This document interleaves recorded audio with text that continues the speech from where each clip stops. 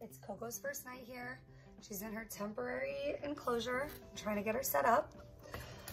Tomorrow we go to the farm and get her nice and settled in. Hi, Mama. Let me get this off.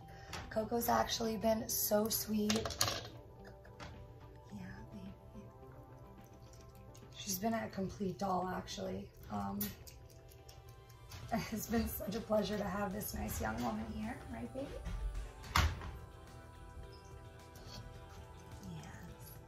Tomorrow you get your nice home. But I just wanted to show you how her signs are completely willing to bond. Granted, the fact that when you first take in any surrender ring-tailed lemur, they're actually in a little sweet grace period where they try to win you over so that they can possibly outrank you at some point. So we'll see if it continues. Regardless, at least her and Aubrey are gonna be able to form a nice bond and have each other so that they're not alone. Because like I always say, ringtail lemurs are such complex social animals and they really need the stimulation, specifically another lemur. And we're ready to give that to you, baby girl. So I'm really excited for what's in store for this little sweet lovey girl. Hope you guys have a great day. I'll tune in tomorrow with the cage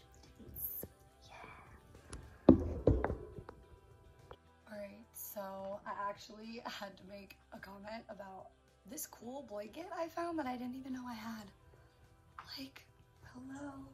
You ready for it, Mama? I still have the TV Gus broke. So let's put this in. I'll prop you guys right here. Hey, sweetie girl.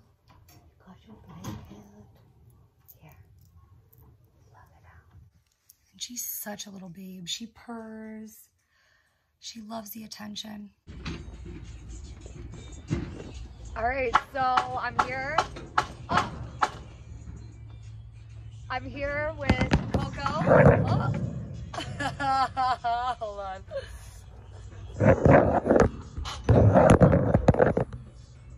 Oh, come on. Okay. Let's try it again. I'm here with Coco and Aubrey, trying to get these little girls acquainted with one another. Coco's a very sweet little girl right here. And so is Aubrey. So is he. It's all groomed together. It's all groomed together. Let's groom our new friend Coco. Yes.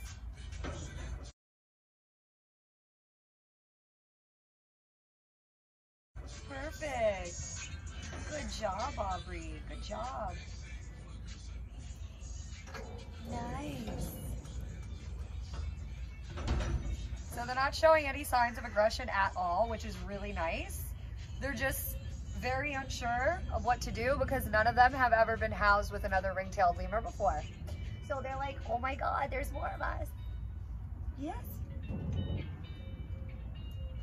They're around the same age. Yeah. Yeah.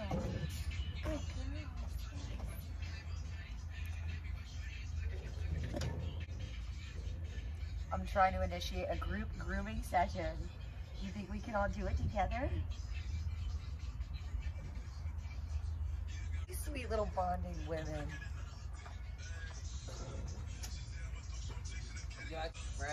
Hold on, I'm making a video. Whatever. it's a boss talking.